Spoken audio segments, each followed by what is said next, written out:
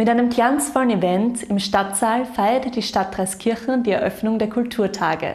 Big Band Sound inklusive.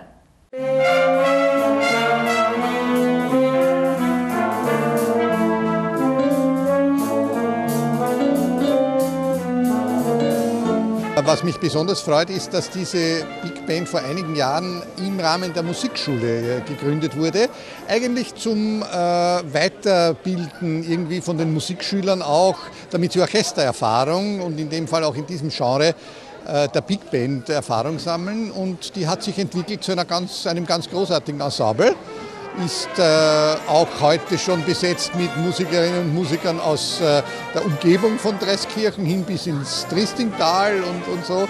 Also ich bin als Kulturstadtrat sehr erfreut, dass äh, sich da alt und jung zusammengefunden haben, eben um diesen Big Band Sound in einem eigenen Charakter allerdings äh, auch weiterleben zu lassen. Hätten Sie erwartet, dass Sie einmal einen Kulturpreis gewinnen? Nein, nein, ich war wirklich überrascht, das muss ich schon sagen, ja.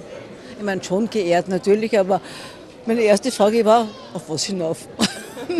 Frau Gebhardt ist ja eine, eine äh, Urdreiskirchnerin, so wie ich es erwähnt habe, hat seit vielen Jahren Jahrzehnten äh, mit, ihren, mit ihrer Kunst, mit ihrer Malerei, mit ihren Zeichnungen nicht nur Kunst geschaffen, sondern auch dadurch, dass sie also sehr viele historische Motive, äh, Gebäude, aber auch Landschaften immer sich vorgenommen hat, hat sie auch einen großen Anteil an der Geschichte und an der Erhaltung dieser alten, zum Teil nicht mehr existenten Gebäude äh, für die Nachwelt äh, auch äh, geschaffen. Ich glaube, der eigentliche Höhepunkt des kulturellen Leben Dreskirchen ist die Vielfalt der Kulturtage. Also das, was Corinna Milborn heute in der Rede gesagt hat, äh, sich alles ansehen zu können, äh, zu durchdringen, was nicht einmal seine eigenen unmittelbaren Interessen an Kultur sind. Also ich glaube, das macht spannend, wirklich eine breite Palette haben an allen möglichen Kulturangeboten. Dreiskirchen ist so ein Ort, wo man sich denkt, die Welt sollte mehr wie Dreiskirchen sein.